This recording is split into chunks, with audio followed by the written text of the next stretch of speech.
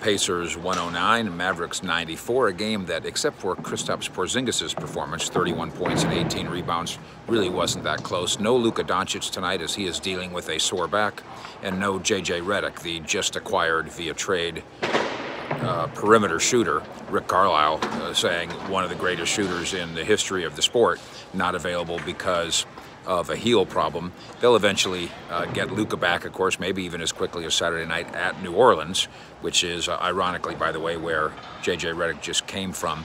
He's not expected to be ready quite that soon.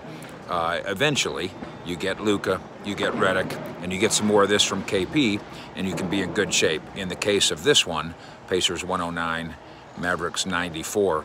You've got Rick Carlisle saying, we had enough bodies, we had enough players uh, to get it done we didn't get it done because we didn't execute. But the fact is, uh, a Mavericks team without Luka is very similar to a Pacers team that is below 500 and was uh, rumored to be trying to sell three of its top pieces. Instead, those three pieces played tonight, uh, and they were better than the Dallas Mavericks. Dallas will try it again Saturday night at New Orleans, and we'll have you covered here on DallasBasketball.com. Fish out.